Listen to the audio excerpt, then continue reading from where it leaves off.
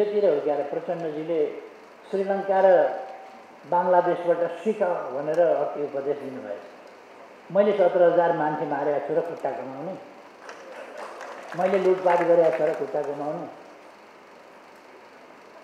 मैले त डराउनु पर्ने। श्रीलङ्काबाट सिक बङ्गलादेशबाट सिक जो चर्को स्वरमा भन्दै हुनुहुन्छ राम्ररी सिक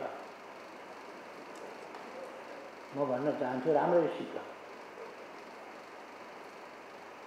अब बेथिति चलाउन सकिँदैन आजको समयमा चलाउनु हुँदैन बङ्गलादेशमा केही भयो भने नेपालमा त्यही हुन्छ नेपाल कुनै देशको फोटोकपी मेसिन होइन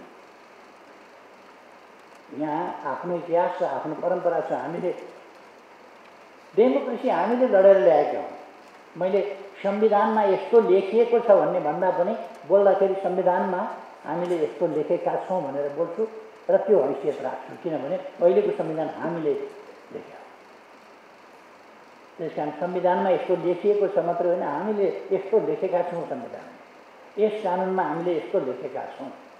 यो प्रणाली हामीले यसरी यसरी ल्याएका हौँ यसरी व्यवस्था गरेका हौँ यसमा यसरी विकास गर्दै लान्छौँ सुधार गर्दै लान्छौँ परिमार्जन गर्दै लान्छौँ यसलाई देश र जनताको पक्षमा अझ प्रभावकारी बनाउँदै जान्छौँ। यो प्रणालीलाई पनि यो संविधानलाई पनि देश र जनताको पक्षमा बनाउँदै लान्छौँ। जो प्रणालीका विरुद्ध लड्यो डे भइराखेको डेमोक्रेसीका विरुद्ध लड्यो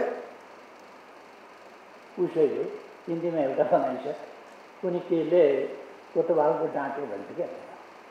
उल्टै केले कोतवालको डाँट्यो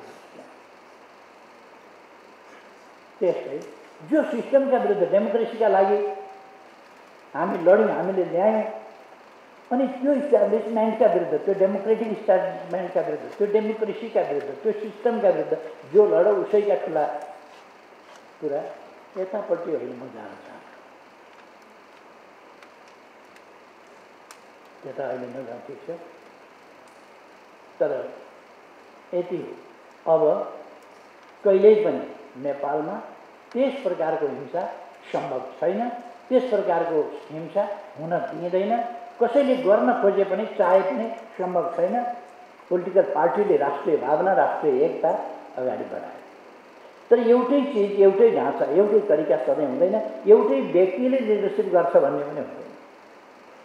लिडरसिप गर्दै गर्दैन। र प्रकृतिले नै मान्दैन त्यो कुरा।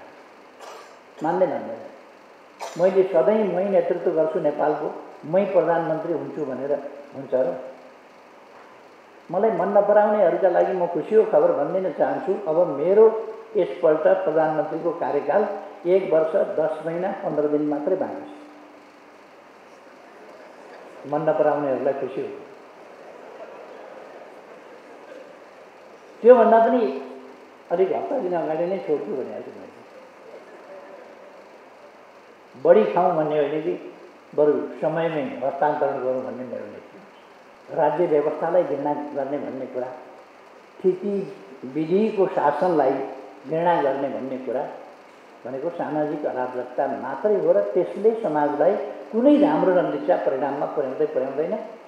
घृणाको राजनीति अथवा अराजकता अथवा संस्कारहीन तरिकाहरू। ती कुराहरूले समाजलाई बेठिकीतर्फ लान्छ र समाजलाई अराजकताले असभ्यताले छिन्न भिन्न मात्रै गर्छ हामीले गर्न खोजेको समाज डेमोक्रेटिक समाज हो हामीले। डेमोक्रेसी भनेको हाम्रो जीवन पद्धति सकारात्मक जीवन पद्धति शान्तिपूर्ण जीवन पद्धति विनम्र जीवन पद्धति नरम जीवन पद्धति राम्रो कुराहरू गर्ने जीवन पद्धति।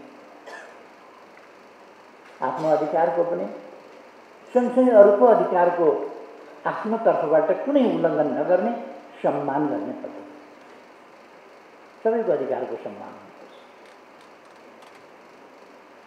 विजयजीले अस्ति पक्राउ परेकाहरूलाई छोडिदिनुहोस् भन्नुभयो छोडिदिइसकेकै छ।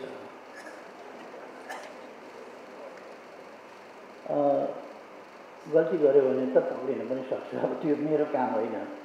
त्यसका निम्ति आफ्ना आफ्ना निकाय छन् के छन् अब मैले अब नेपालमा अब उपरान्त कसैलाई गिरफ्तार नगर्नु जेसुकै अपराध गर्न पनि छोडिदिनु भनेर त मैले कसरी भन्न सक्छु? फेरि रुल अफ ल कसरी होला? त्यसकारण मैले रुल अफ लको कुरा गर्छु। अन्याय कसैमाथि हुनु हुँदैन तर समाजलाई स्थितिमा विधिमा त बाँध्नुपर्छ। कानुनको राज त हुनुपर्छ कानुनी राज त चलाउनुपर्छ। कानुन न्यायपूर्ण हुनुपर्छ। अन्यायपूर्ण कानुन बनाउनु हुँदैन। अधिनायकवादमा अन्यायपूर्ण कानुन बनाएर अन्यायपूर्ण कानुनका भरमा संवैधानिक र कानुनी भन्दै थिचोमिचो गरेर चलाइन्छ। यस्ता संविधानहरू पनि हामीले देखेका हौँ ती अन्तर्गत बनेका अन्यायी कानुन पनि देखेका हौँ ती कानुनलाई टेकेर अन्यायपूर्ण अधिनायकवाद चलाएको पनि हामीले देखेका हौँ डेमोक्रेसी त्यस विपरीत।